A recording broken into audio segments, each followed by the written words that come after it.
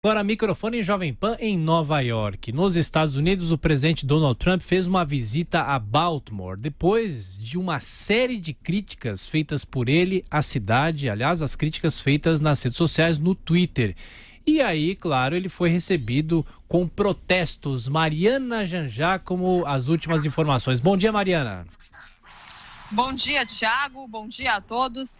Pois é, Tiago, dezenas de pessoas foram às ruas em Baltimore protestar. Elas traziam cartazes, faixas, tinha até mesmo um boneco gigante representando o presidente Donald Trump.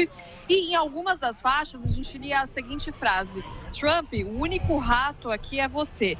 Isso foi em referência a um tweet que o presidente Donald Trump publicou no mês passado, dizendo que um distrito de Baltimore era nojento, uma bagunça infestada de ratos. Esse tweet foi, na verdade, em uma série de troca de farpas ali do Trump com o congressista Elijah Cummings, de Baltimore. É um congressista que costuma criticar o Trump pelas políticas de imigração e também acusa o presidente de ser racista.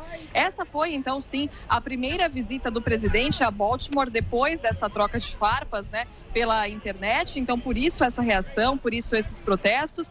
E o Trump foi até lá, na verdade, para fazer um discurso em um jantar de republicanos da Câmara dos Representantes, lá em Baltimore. E aí, nesse discurso, nesse jantar, é claro, ele teve uma recepção bastante diferente dos republicanos, que aplaudiram o presidente, gritaram quatro, quatro anos, mais quatro anos, em uma referência à possível reeleição do Donald Trump no, nas eleições do ano que vem, né? Então, realmente, foi uma situação bem diferente ali do que ele encontrou na cidade, com as pessoas protestando contra eles, ali bravas, com essas críticas que o presidente teria feito à cidade, Tiago. Ô Mariana, mas como é que está a questão, o debate, na verdade, sobre o impeachment do presidente americano? O Partido Democrata começou a fazer investigações que podem levar a esse processo de impeachment, mas é bom lembrar que a, o mandato atual está quase no fim, né, Mariana?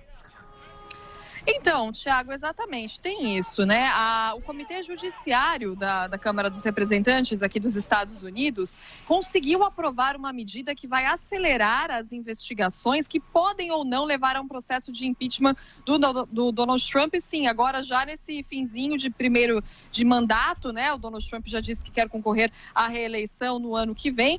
E o que acontece é que agora devem acontecer várias audiências em um ritmo mais acelerado e os representantes vão analisar os resultados dessas audiências para ver se há indícios, se eles acham que há indícios suficientes de irregularidades que apontem que o Trump de fato tentou obstruir a justiça em relação às investigações que tentavam descobrir se houve interferência russa nas eleições de 2016 ou não, se houve enriquecimento ilícito ou não para então dar continuidade a esse processo de impeachment de Donald Trump. É claro, né, esse processo está sendo liderado por membros do partido da oposição, do Partido Democrata, e é alvo de polêmica até mesmo dentro do partido, viu, Tiago? A presidente da Câmara dos Representantes, a democrata Nancy Pelosi, já disse que talvez esse não seja o momento de pedir o impeachment de Donald Trump, porque falta apoio popular.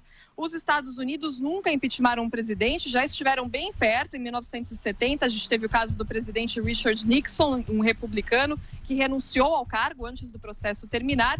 E em 1990, quando o processo do Bill Clinton, democrata Bill Clinton, chegou ao Senado, o Senado absolveu o presidente, então ninguém foi impeachmentado. Então, de fato, a gente aguarda os próximos capítulos, mas isso nunca aconteceu aqui no país. E, Tiago, uma última notícia rápida. É, a gente falava nas últimas semanas sobre aquele barco, né, aquela tragédia do barco que, foi, que pegou fogo ali perto da costa da Califórnia e deixou mais de 30 pessoas mortas. Era uma excursão de mergulho que esse barco fazia.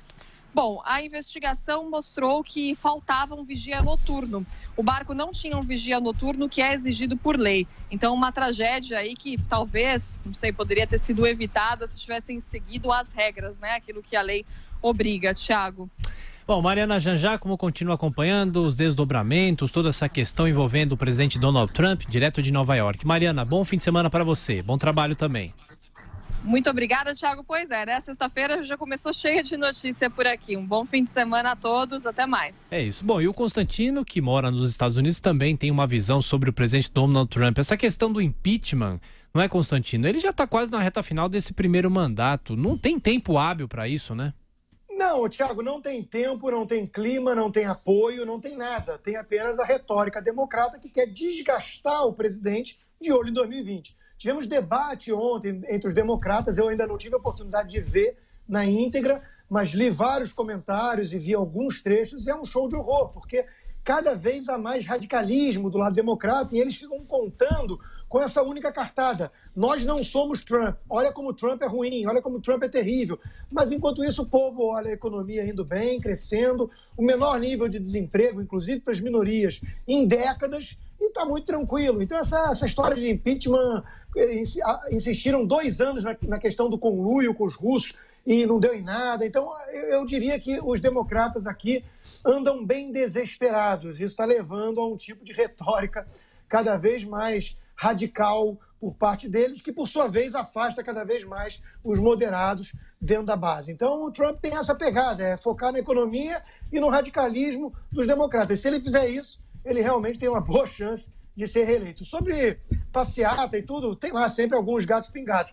Mas o teste mesmo veio nas eleições agora, comentamos há, há poucos dias sobre isso, nas eleições especiais de dois distritos na Carolina do Norte, onde os republicanos venceram. Então, a princípio, o termômetro continua a favor de Trump.